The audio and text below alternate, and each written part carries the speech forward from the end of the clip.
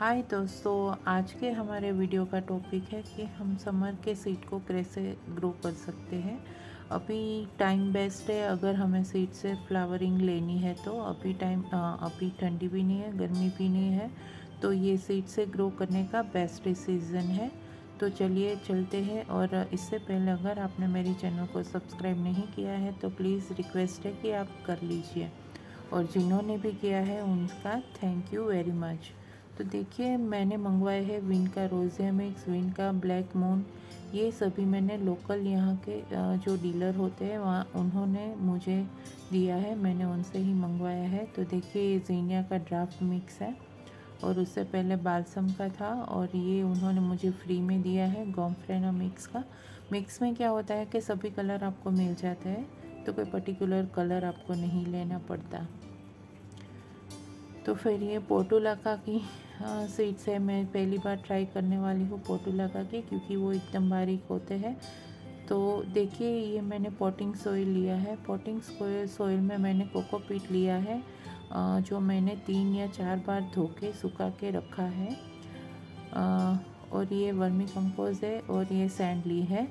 ये मात्रा आप देख सकते हैं। आपको ऐसी ही मात्रा ऐसे ही मात्रा में यानी कि आपको 60 परसेंट कोकोपीट ट्वेंटी परसेंट रेत और 20 परसेंट वर्मी कंपोज इस हिसाब से आ, मैंने ये सोइल मिक्स किया है। तो देखिए ये मैंने मिक्स कर लिया है और अब इसमें मैं थोड़ा जा थोड़ा सा फंगी साइड भी मिक्स कर रही हूँ। क्योंकि अगर हमें कहीं पे चूक हो गई है, हमारी वर्मी कंपोस्ट मैंने सुखा लिया है दो तीन घंटे के लिए, मगर फिर भी अगर अगर फंगस रहेगा तो हमारा सीडलिंग ख़राब हो जाएगा। इसलिए प्रिकॉशन के तौर पे मैं इसमें फंगीसाइड मिला, मिक्स कर रही हूँ। तो इस हिसाब से अगर आप पोटिंग मिक्स रेडी करोगे तो ये हमारे नन्हे नन्हे पौधों के लिए बेहद अच्छा होगा क्योंकि उसके जो रूट्स है वो डेवलप हो पाएँगे। तो फिर देखिए, ये मैंने डिस्पोजेबल कप लिया है और कप में सभी में मैंने नाम रख, लिख लिया है ताकि बाद में कोई कन्फ्यूज़न ना हो क्योंकि पोतों के हिसाब से हमें उसको पोट की साइज़ देनी पड़ती है। इसलिए सभी पोट में मैंने नाम लिख लिया है। और फिर जो हमने सोइल मिक्स बनाया है, वो हम सभी पोट में भर लेंगे। और पूरा नहीं भरेंगे क्योंकि इसमें हमें अभी और पानी डालना है, सीड डालना है और ऊपर से थोड़ा सा सोयल मिक्स और डालना है। तो आप पूरा नहीं भरिएगा। देखिए मैंने कितना भरा है, ऐसा भर के आप थोड़ा सा टैप टैप कीजिए ताकि अंदर कोई एयर बबल ना रहे। तो ऐसे हमने सभी हमारे ग्लास से डिस्पोजेबल ग्लास है, वो सभी भर लिए हैं। तो देखिए मैंने इतना सा भरा है, आप अपने हिसाब से भी डाल सकते हो। तो फिर मैं क्या करूँगी, उस इन सब में पानी डाल दूँगी। नीचे तक पहुँचे इतना, थोड़ा सा ही पानी डालना है। और नीचे तक पानी पहुँच जाएगा तो फिर ये पूरा गीला हो जाएगा और मॉइस्ट रहेगा हमारे सीड के लिए। तो बार बार हमें इसमें पानी डालना नहीं पड़ेगा। और ये कोकोपीट है, अगर ड्राई रहेगी तो फिर सीड भी इसके साथ कहीं गुम हो जाएँगे। इसलिए कुछ भी हिले डुले नहीं, इसलिए हमें थोड़ा सा गीला कर लेना है। और पानी भी कोकोपीट को दे देना है। फिर ऊपर से थोड़ा सा बेस अच्छा बना लेना है। सीधा सपाट आप क्या बोलते हो, उस हिसाब से सीधा कर लेना है ताकि ऊपर नीचे रहेगा। अगर तो सीड को अच्छे से ग्रो करने के लिए जगह नहीं मिलेगी तो हम इससे प्रेस करके एक सरका अच्छे से बना लेंगे। फिर देखिए, ये मैं अभी रूटबेकिया का सीड लगाने वाली हूँ, जो काफ़ी छोटे सीड है।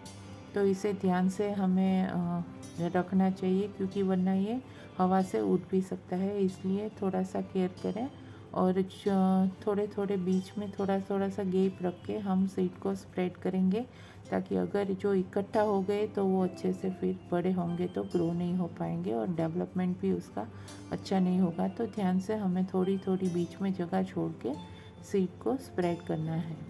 देखिए, ये दो कप मैंने तैयार किए हैं रुदबेकिया के लिए। फिर मैं ऊपर से थोड़ी सी पोटिंग सोइल जो हमने बनाई है, वो थोड़ा सा ही डाल दूँगी। हमें लगे क्योंकि ये छोटे सीड है ना तो ज़्यादा पोटिंग सोइल नहीं डालना चाहिए, वरना ये बाहर नहीं निकल पाएगा। तो ये विनका ब्लैक मून है, जो मैं इसे विनका के सीड पहली बार ग्रो कर रही हूँ। क्योंकि अब तक तो मैंने तैयार पौधे ही लिए हैं। और कई लोग बोलते हैं कि ये डिफ़िकल्ट है और कुछ लोग को ये इजी लगता है। तो चलिए देखते हैं हम भी ग्रो करके कि इसका रिज़ल्ट हमें क्या मिलता है। तो मैं एक पॉट में चार सीड ही लगाने वाली हूँ।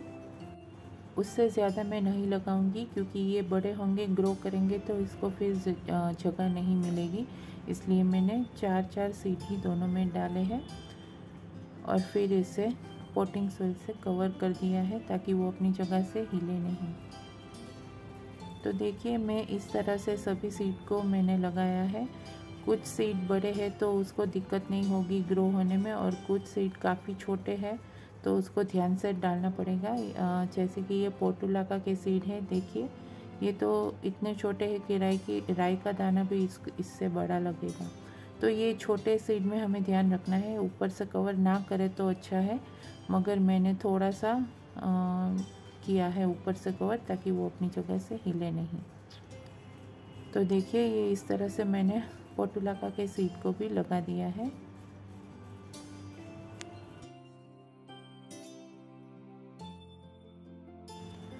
तो दोस्तों, बालसम के सीड मुझे इन सबसे बड़े लग रहे हैं तो ये आसानी से ग्रो कर जाएँगे। तो अगर बड़े सीड होते हैं तो कोई दिक्कत नहीं होता। छोटे सीड होते हैं, उसमें प्रॉब्लम होता है कभी कभी वो ग्रो नहीं करते। तो देखिए, मैंने इस तरह से पानी दिया है। मैंने एक ट्रे में पानी भर के सभी ग्लासेस को इसमें रख दिए हैं ताकि वो नीचे से पानी ले लेगा अपने हिसाब से। अगर हम ऊपर से पानी डालेंगे तो सीड अपनी जगह से हिल जाएँगे और फिर वो ग्रो नहीं करेंगे। तो उस हिसाब से पानी अगर देंगे, जब तक पौधे बड़े ना हो जाए, तब तक और ये देखिए, ये मैंने प्लास्टिक से इसको कवर कर दिया है ताकि इसमें मॉइस्चर बना रहे और हमें बार बार पानी डालना भी ना पड़े। तो देखिए, अगर दोस्तों आप इस हिसाब से सीड ग्रो करेंगे तो डेफिनेटली इसका रिज़ल्ट अच्छा मिलेगा। वीडियो अच्छा लगा है तो प्लीज़ लाइक शेयर सब्सक्राइब कीजिएगा। Bye take